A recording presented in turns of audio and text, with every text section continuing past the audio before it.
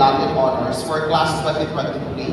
And we are we were done with our deliberation and evaluation of the academic records uh, of the following candidates for graduation with Latin Honors. Next slide, please. For the main campus, uh, we have Uh, for the main campus, we have eight candidates for Latin honors. Uh, we have four from the Bachelor of Arts in Political Science. Uh, we have one from the Bachelor of Science in Hospitality Management.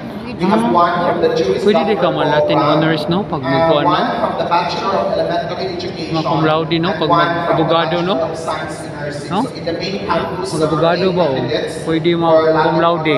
They are all uh, cum laude. Cum laude ang ilang GPA. Uh, Kung napa-interview. uh, next slide, please. For Katipunan campus, we have four candidates for Latin honors. One from BSN Filipino, two from BSN Social Studies, and one from BSN Science. So, cum laude also. Uh, in Tangilisan campus, we have five. Uh, two BSN English, uh, two BSN Social Studies, and one BSN no? So five. So five plus four, nine, plus Kaya eight. dinim. There are seven candidates for Latin honors. Seven Ah. Seven Ah, candidates for Isa graduation mo in yung Latin honors from the three campuses, the main campus, Isa mo yung.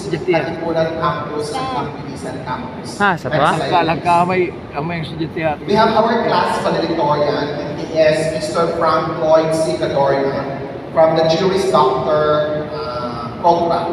Siya ang class valedictorian among the 17 because he got the highest GPA and the highest rating also in the interview.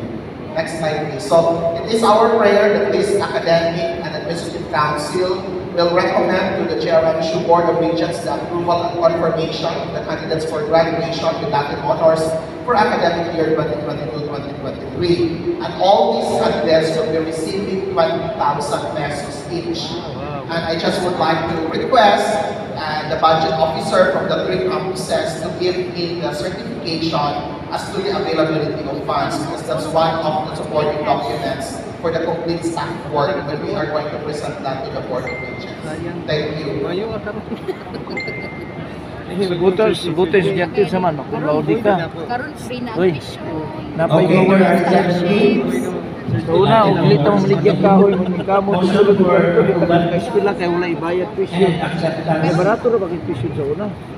Barato ang 8,000. Sa mga 300 ka pinal dito okay, ka bayad. Maligyan. 17 natin And at the same time, 20,000. Wow. Cash.